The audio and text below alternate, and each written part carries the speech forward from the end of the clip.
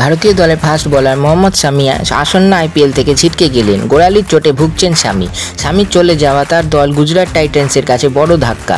তারকা অলরাউন্ডার হার্দিক পান্ডিয়া ইতিমধ্যেই দল ছেড়েছেন। মুম্বাই ইন্ডিয়ান্স দলে যোগদান করেছেন তিনি। স্বামীর চলে যাওয়ায় আসন্ন টি টোয়েন্টি বিশ্বকাপের জন্য তিনি ফিট হতে পারবেন কিনা তা নিয়েও প্রশ্ন উঠছে।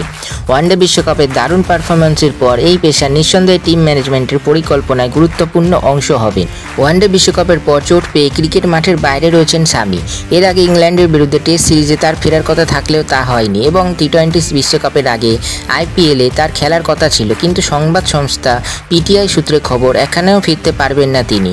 আইপিএলে দু হাজার চোদ্দ সাল থেকে এই লিগে খেলা স্বামী এখনও পর্যন্ত একশো ম্যাচ খেলেছেন। নিজের নামে একশো সাতাশটি উইকেট নিয়েছেন। দিল্লি ক্যাপিটালস পাঞ্জাব কিংস এবং গুজরাট টাইটান্সের হয়ে খেলেছেন তিনি। দু হাজার চোদ্দ সালে দিল্লির হয়ে আইপিএলে অভিষেক হয় তার। এরপরে দু হাজার আঠারো সাল পর্যন্ত দিল্লির অংশ ছিলেন এবং দু হাজার উনিশ আইপিএল থেকে পাঞ্জাব কিংসের দলে অন্তর্ভুক্ত করা হয়েছিল তাকে। পরে গুজরাট টাইটান্স দলের অংশ হয়ে যান মোহাম্মদ শামি।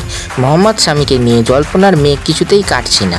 ওডিআই বিশ্বকাপে সেরা বোলিং পারফরমেন্স করার পর থেকেই মাঠের বাইরে রয়েছেন তিনি। আশা করা হয়েছিল ইন্ডিয়ান সুপার লিগে হয়তো ফিরবেন তিনি, ইন্ডিয়ান প্রিমিয়ার লিগে। কিন্তু সেটাও হলো না। স্বামীর চোট নিয়ে পড়ে কিছু কথা শোনা গিয়েছিল। তিনি নাকি যন্ত্রণার সঙ্গে মাঠে নেমে খেলেছিলেন এবং ভারতকে বিশ্বকাপ জেতানোর জন্য লড়েছিলেন।